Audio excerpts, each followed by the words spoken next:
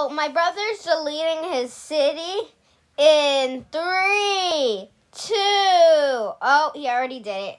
Well, now all that's left, as I can see, is a bunch of cars. A Jeep, two $25,000 cars, three $18,000 cars, some bicycles, and some mopeds.